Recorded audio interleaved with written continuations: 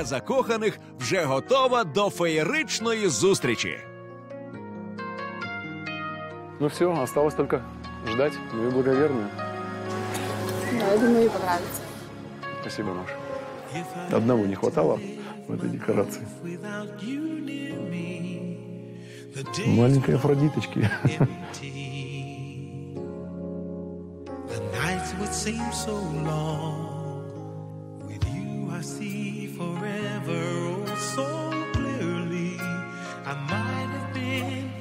Но когда увидел, начал аж как-то ну, пританцовывать. Улыбка уже не сходила. Я обрадовался.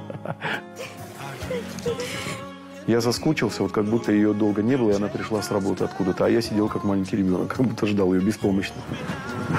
Ты какая? Наконец-то вы встретились.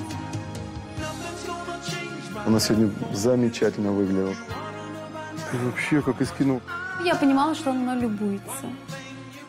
Внутри тепло и улыбчиво стало. Я не ожидала, что будет именно такая встреча. Великолепный сюрприз.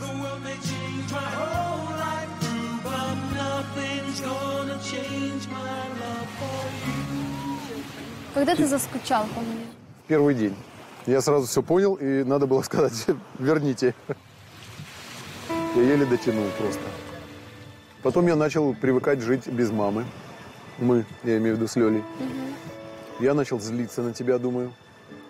Что? Все из-за тебя, вот это твоя работа мне теперь это Понимаешь, что это нелегко? нелегко, конечно.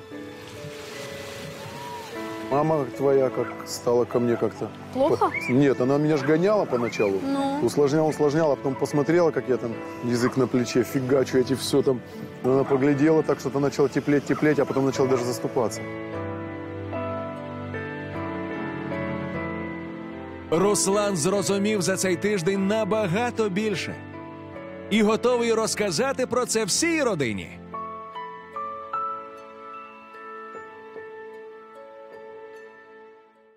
Буду стараться помогать тебе, потому что я, я теперь многое могу.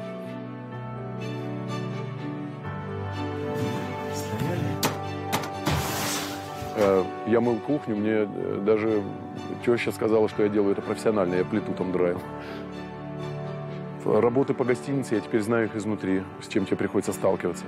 То есть я готов э, браться практически за любую работу, которую делала ты. Ну, плюс еще своя. Э, Если тебе что-то нужно, я всегда рука помощи будет. Я умею это делать. Ощущение семьи у меня есть. Особенно после этого проекта я... Я хотел бы с вами жить и стариться тоже. Че плачешь, помидор? Ну, я сам тут еле держусь. А если такой закрытый человек сказал такие слова, ну это дорогого стоит. Я почувствовала к нему доверие. Ну, ну, я думаю, что у нас как бы начнется новый этап в отношениях. И он будет лучше. Наверное, такие проекты нужны, чтобы Чтобы мужчины ценили тот труд женщин, который на первый взгляд незаметен. Вот я же говорила, что он это признает. За тиждень без Джеми Руслан не лише переоцінив роботу дружини, а й нарешті став дбайливим батьком і гарним зятем. Руслан опанував готельні й хатні роботи і навіть заробив перші гроші. Тож заслужено отримує 20 тысяч гривен, да? Два раза кнопку нажал. Но ничего, все равно. Я заработал. Вообще он молодец. человек поменялся, радикально поменялся.